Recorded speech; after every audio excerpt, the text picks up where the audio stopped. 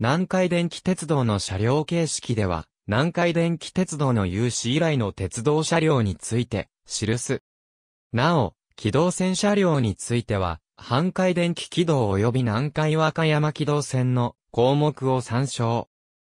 現在の南海の車両は、7100系の一部と8300系を除いて、近畿地方の多私鉄と異なり、関東地方にある東急車両製造、総合車両製作所横浜事業所で製造されているのが最大の特徴である。これは旧帝国車両工業時代からの取引関係であるとされるほか、6000系以降のオールステンレス車両が登場当時は、ライセンスの関係上、東急車両以外では製造できなかったことにもよる。なお、7100系以来40年余り途切れていた近畿車両への発注は2015年に登場した8300系で再開された。なお、関西の大手私鉄では、阪神電気鉄道と共に、アルミ車両の保有実績がない。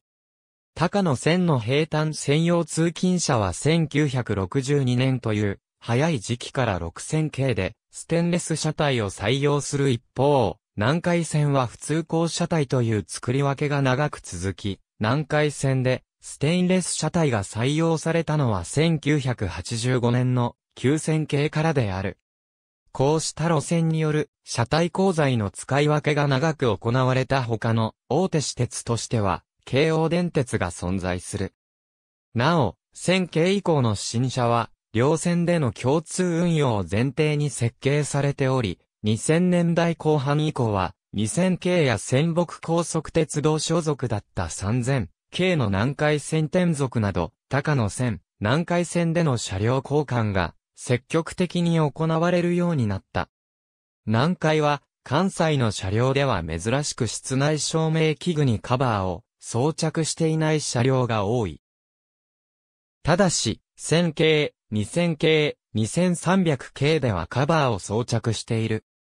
2000年代後半以降では、何年生基準の改正により従来の樹脂製の蛍光灯カバーが使用できなくなったことにより、同社の8000系に限らず、近畿日本鉄道のシリーズ21や阪神、電気鉄道の1000系など他社でも最新車はカバーを廃止し、客室内蛍光灯を露出した直接照明を採用する事業者が増えてきている。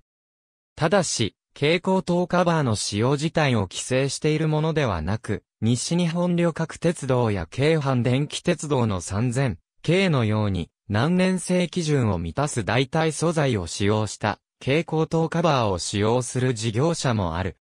関西の私鉄では、車体上部に全消灯を装備する車両が多いが、南海では1974年登場の6200系以降、ラピートを除く、特急、一般系車両は一貫して、全消灯を全面装下に装備して登場した。なお、2300系以降の新車は、全消灯が車体上部への装備と変更されている。車両故障時に備え、複数の編成を並結運転する例が多い。並結ではないが高の線の大運転で使用される。車両の大部分は一編成に最低2ユニットを連結していたのもこの理由並びに、山岳区間でのトラブル防止のためである。ただし2300系では回路を二重系としたので、山岳区間でも1ユニット2両連結でも運用されている。このやり方では、故障時にダイヤの乱れを防止できる利点がある反面、車両運用には大幅な制限がある。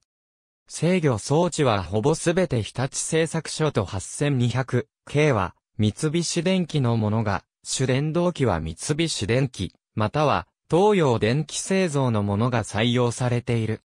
また、台車は2011年現在ほぼすべて、住友金属工業のものが採用されている。東急車両製については、パイオニア3型の実績がある。TS 台車は一度も採用していない。南海では通勤系車両を一般車両として分類している。複数の路線で使用された形式が多く、下記の分類は大まかなものである。なお山手線の車両については、阪和電気鉄道の車両を参照のこと。南海では2031年開業予定の何和筋線への乗り入れを計画している。南海は路線に地下区間がないため、他の関西私鉄とは異なり A 基準を満たす地下鉄対応車両を所有していない。仮に現行車両を地下線となる何は筋線へ乗り入れさせる場合、車両側には地下鉄対応の機器更新や防火設計等の更新が必要になる。南海は何は筋線直通用にラピートの新型車両を設計する構想を明らかにしている。